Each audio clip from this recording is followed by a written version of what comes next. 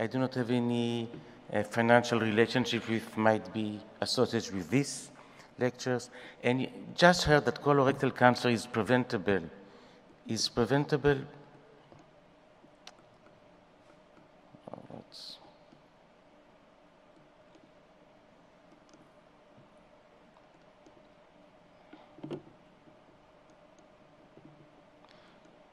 It's prevent by early detections, chemo preventions, and lifestyle modifications. Lifestyle modification is not so easy. And when we speak about physical activity, we do not mean this. Also, to have, we just heard about positive fecal occult blood tests or even FIT. It's not easy. People do not like to mess with their feces, and I guess it was a positive test. Also about capsule endoscopy. This is what my children suggested to me, but we're still not there. We just have sent a capsule, we'll find the polyp and take it out. And I do agree with uh, Rick Boland. Colonoscopy is the best screening modality to prevent colorectal cancer, but we do have to measure that the public is voting with his legs against screening colonoscopy. So lifestyle modification is not easy to achieve. We still have many problems with screening for colorectal cancer screening. I absolutely agree that a blood test is going to be the ultimate uh, solutions, but we are still not there. So we were left with chemo prevention. And this is taking out from a review that I've written uh, five years ago. And at that time, in 70 out of 72 uh, cases or articles, the, it was clearly demonstrated that NSAIDs and aspirin can prevent adenoma formations, reduce the incidence and mortality from colorectal cancer. And I would like to concentrate in my talk about aspirin. It was first launched more than two centuries ago in 1897. And what I would like to draw your attention to what it says here. Uh, aspirin does not affect the hearts. Well, we do not always have to believe the drug companies. And so it was shown that aspirin can reduce the incidence of and the mortality from uh, colon cancer. And again, here in 19 out of uh, 21 studies, it was demonstrated, so clear evidence. And I'm going to show you the, the real evidence for each one of them. Aspirin reduced the risk of recurrent colorectal adenoma, and there was five good studies that showed it. We can see it here. All of them clearly demonstrated that aspirin can reduce adenoma formations. Aspirin can reduce the colorectal cancer risk. This was a pooled data from the British doctor trial and the UK TIA trial, and they showed that regular use of aspirin around with 300 milligrams can reduce the risk in 26% and can reduce in 37% if it was taken for more than five years. And usually the benefit was seen after 10 years, and I, I will come back to it. This is a study that was, the result was given by Andrew Chan. He summarized the data from the Nurses' Health Study, which included more than 100,000 patients, and the one from Health Professionals Follow-Up Study, 50,000 patients. Altogether, they had 1,279 colorectal cancer, uh, uh, colorectal cancer cases, and this is the data you can see that aspirin reduced the mortality from colon cancer, but it also reduced the mortality or overall survival. So aspirin is effective. I think this is an important question about overall mortality, and I'm going to address it at the end of my talk. Uh, here we can see that the effect of aspirin on long-term risk of colorectal cancer mortality. Again, the proven efficacy is seen all, all the way. And just uh, we heard about early this morning about patients with high risk, patients with HNPCC. This was a landmark study of the John Burn's that was published in The Lancet a year and a half ago. And we can see that aspirin, high dose, 600 milligrams, given for one to four years, was associated with a reduced risk of almost 40% in, in, in colorectal cancer, as well as other HN, HNPCC mortalities and I was also the reviewer for his next study, the CaPP3 study that is on its way. And I spoken with John just last month in Berlin. And actually, anyone who would like to join this study is welcome to do it and know, can send it to John and we'll be happy to include more, more, more sites. Having said that, we do have, we, we, do, we do know that aspirin have some GI side effects.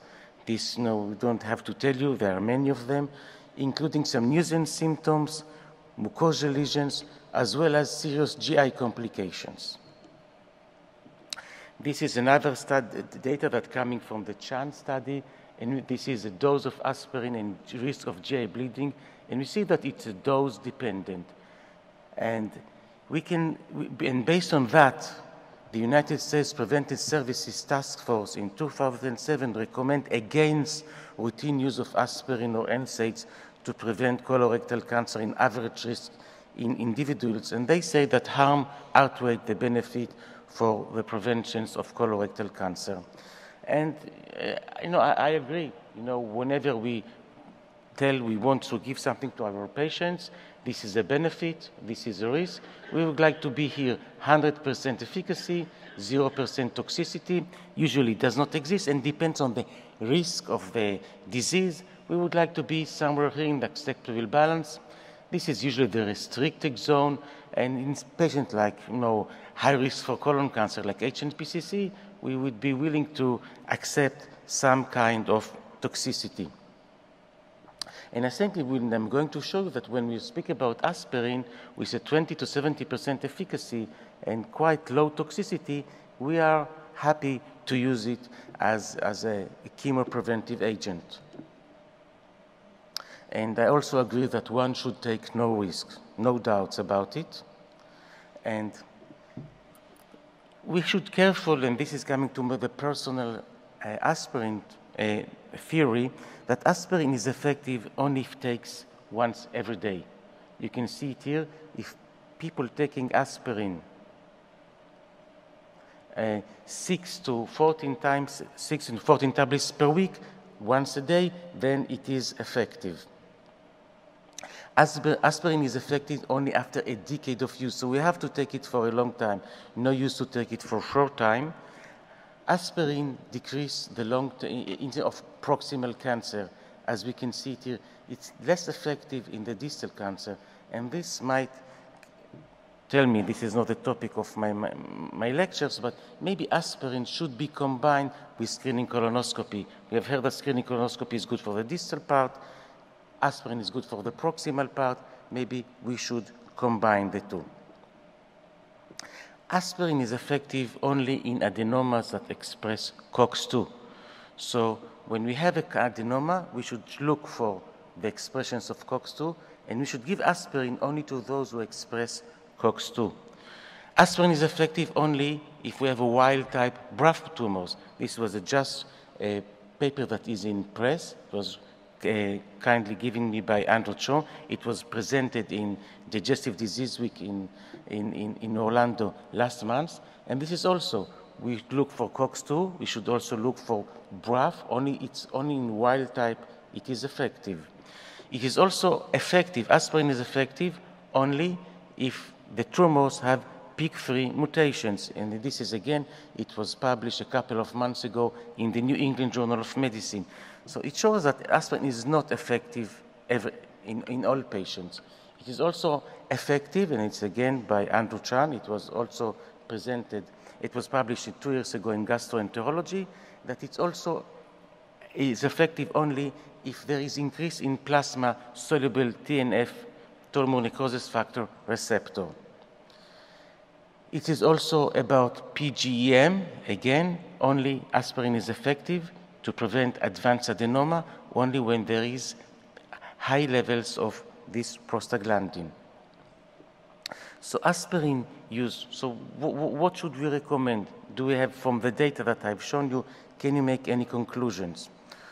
So I think in high-risk populations, patients with familial adenomatous polyposis, HNPCC, there is no doubt that aspirin should should be prescribed, and most probably in high dose. What about patients with moderate risk, so those with a personal or family history of colorectal cancer with a lifetime risk of 10 to 50%. I guess, yes, it has to be discussed with the patients, but in most cases, I would recommend it. And, but it's obviously, as I show, as I show you, it should be um, evaluated and should be just depending on the profiles of the tumor, depending if it has expressing COX-2 or not, BRAF, etc.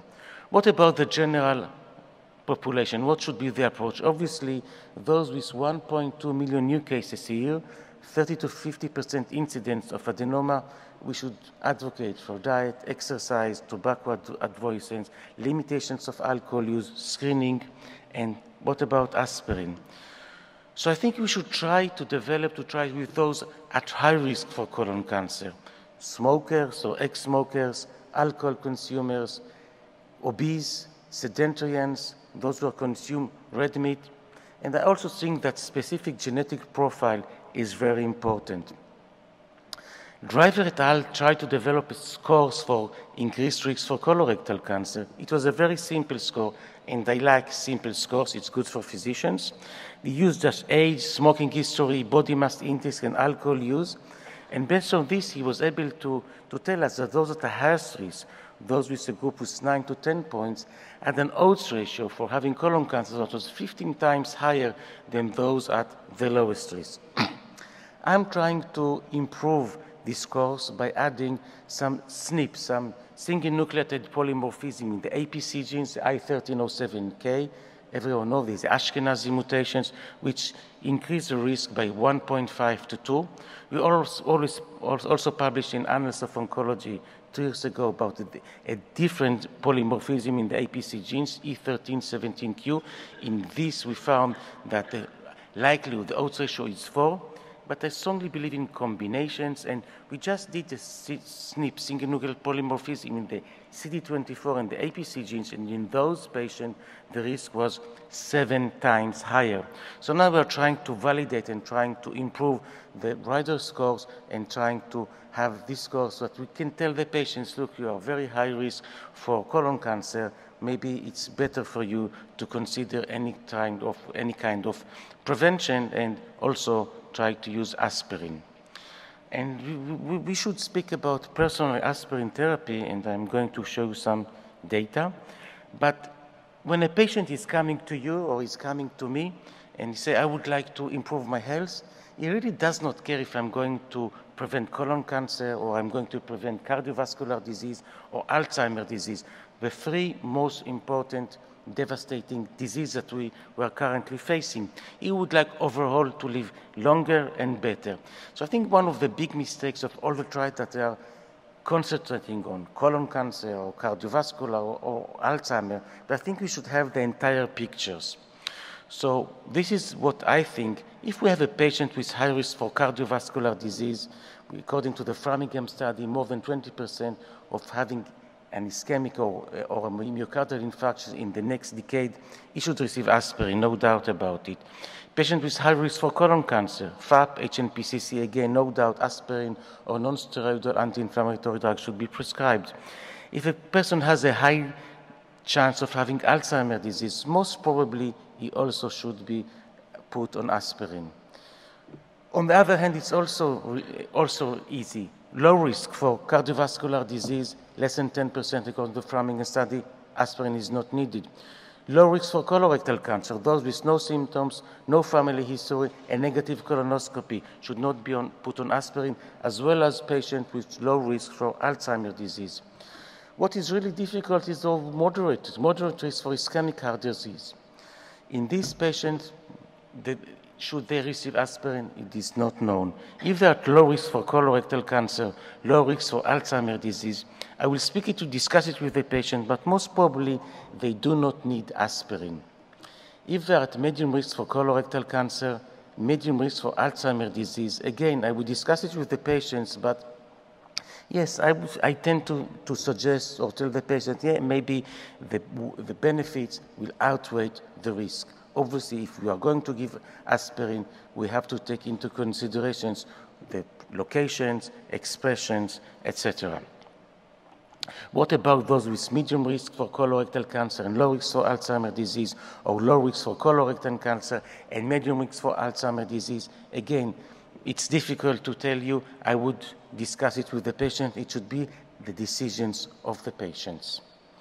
Genetics is very important, and we have a paper now in pharmacogenomics genetics. It is impressive. It's a collaboration between my group and the group of Neli Ulrich, used to be in, in, in, in Seattle. Now she moves to the DKFZ in Germany.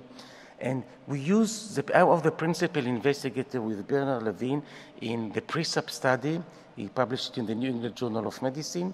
We took patients that we found adenoma, we randomized them to receive celecoxib or placebo, and after one year and three years, we did colonoscopy, and as we can see across the board, the preventive efficacy of celecoxib was shown due to some COX-2 cardiovascular toxicity, the likelihood and the plausible of having COX-2 eh, inhib inhibitors is, is out of the question nowadays. But we had, I had one in 120 patients from this study were at my site, and on this site we did some genetic analysis, some polymorphism, and and you can see that polymorphism that were associated with adenoma recurrence in the COX-2 genes was highly significant, as well as in the PGDH, prostaglandin dehydrogenase. So I think based on that, on this polymorphism, I was able to tell the patient what is your likelihood of having adenoma recurrence. You can see it here, the wild type, the heterogeneous, and the homozygous variant, and the y-axis is the probability of adenoma recurrence. This is for the COX-2 variant, and this is for the PGDH variant. and we can see that based on this, I can tell the patient if he's going to have or does not have to going to have adenoma recurrence. Based on polymorphism in other genes, we were able to tell the patient what is your likelihood of, of having cardiac toxicity. This in this, if somebody have polymorphism in the EGFR, uh, doesn't matter on it was on both treatment is going to have and the placebo and the treatment arm is going to have toxicity, while those are going to have in the uh, PGS polymorphism look could have eight times more or four times more if they are going to receive a COX-2 inhibitors. And so on, this is another polymorphism that we were able to predict if the patient is going or not going to have cardiac toxicity. And in this slide, we can see how we can predict how we can predict the GI toxicity. And based on this, I would like to, to, to sum up. Very strong evidence exists for a cancer-preventing effect of low-dose aspirin, particularly if taken every day for at least a decade and most probably for the right column. Future benefit-risk balance should take all benefit and risk into account to provide optimum guidance.